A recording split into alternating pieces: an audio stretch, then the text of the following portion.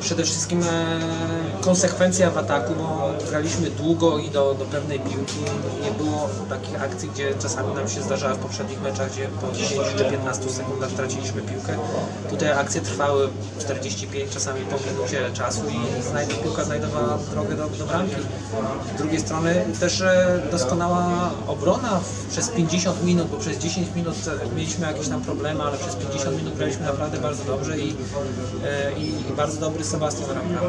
Ta konsekwencja w ataku była e, o tyle dobra, bo z Kaliszem przez ostatnie 15 minut graliśmy nerwowo i chcieliśmy jak najszybciej odrobić. Dzisiaj, pomimo że Piotrkowianie zbliżył się na, na cztery bramki do nas, e, e, przeczekaliśmy to, wyczekaliśmy to, obroniliśmy i wyszliśmy na, na spokojne prowadzenie.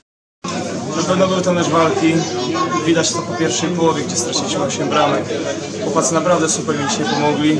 Ja się bardzo dobrze też nie zaprezentowałem, mówiąc nieskromnie, ale bardzo mnie to cieszy.